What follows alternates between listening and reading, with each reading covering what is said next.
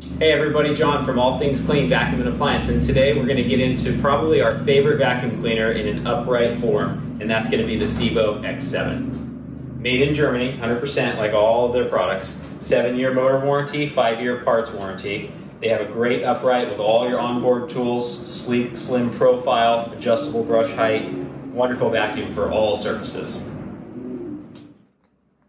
So let's dive right into the Sebo X7. Really simple to use. Orange handle release pedal leans the handle back. You have a very low profile of about five and a half inches off the ground here. Single power switch to turn the unit on and a self-adjusting nozzle. So the nozzle is going to sense our carpet height and it's going to move the head up and down to set it perfectly for low pile, high pile, bare floor. It's just turning the machine on, letting it take over. We'll give it a second to adjust. The lights turn off. There's a green light there. We just vacuum away. When I move it to the bare floor, it's going to drop lower, of course. Comes down. Won't scatter or shoot stuff around. Sucks it right up. Back up onto the carpet. Just back up a little bit. Pull our hose out. Switch hands to pull. We've Got extra hose in here. Great for the corners or fringe or tassels or whatnot. We can stand it back up and we can put our attachments right on the end here.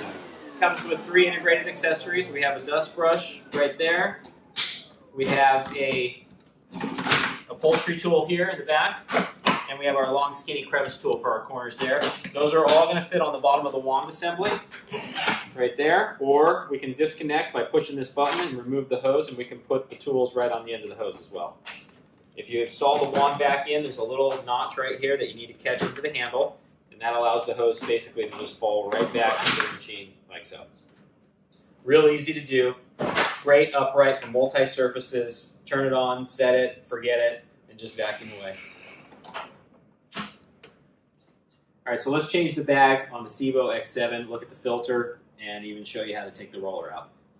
Lift, pull the door, squeeze the green clips on the outside. That's your disposable piece there. You get your new one. There is an arrow there that shows you which way goes in. Slide it into the track until it clicks like so. You have a intake filter right here that just grabs and you just pull it straight out like that. This latch here comes down automatically on a spring, so this keeps you or anybody from closing the door without the filter inside. So when you install the filter, you need to hold this up, get it in the track there, and just slide it in like that. You got three little holes right here, and these three pegs on the bottom of the bag housing door line up, and just bring it in and like so. Brush release button is here. We can push that button hard, the end cap will pop out, and the whole brush will pull right out. I like to lean it on its side and do that. It's a little easier, and then you can look and make sure there's nothing jammed on the bottom or anything. But you get your brush to clean it, reinstall it, you just drop it in, rotate a little bit until it drops all the way down.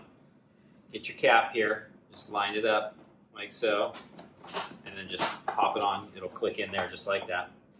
There is one more final filter in the back. And the filters, this one and the one on the inside that we just looked at, need to be changed yearly. Take this door off, lift this up like this, and this whole thing just slides right out. So that's your final filter on it. Get your new one and it slides in like that. And just bring this down, it'll click on. Top of the cover first, bring it down and down like that and it latches in automatically. And that's the, pretty much the maintenance on the Sebo X7. Model selections on the Sebo X7. Basically the vacuums are the same. The difference is, is they have a base model that's only available in red it runs 849. It has no LED headlight on the front, and it has no what we kind of consider boost buttons, which is a little round button right on the hood of the other ones. And when that button is depressed, it essentially lowers the nozzle down to a lower, more aggressive setting.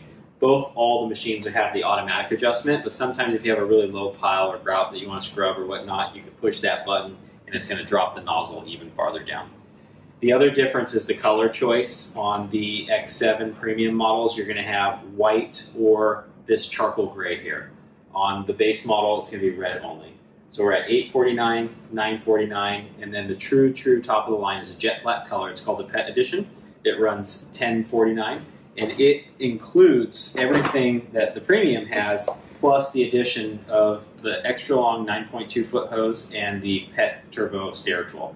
So these pieces can be purchased separately later if you didn't buy that model, but essentially allow you to extend this hose like so, put on your stair tool, and now you have nice reach without you know dragging around the machine.